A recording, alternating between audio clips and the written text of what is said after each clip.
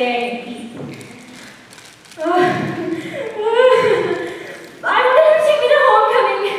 What, what if he's oh, you're pathetic. he is fine. That's not important. What's important is that we need to get some supplies so we can survive, alright? But don't, don't worry. I've been prepared.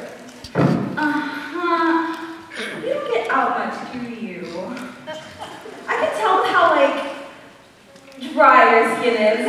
but, like, don't even worry about it. I have, like, the perfect thing for you in my bag. Let me just grab it.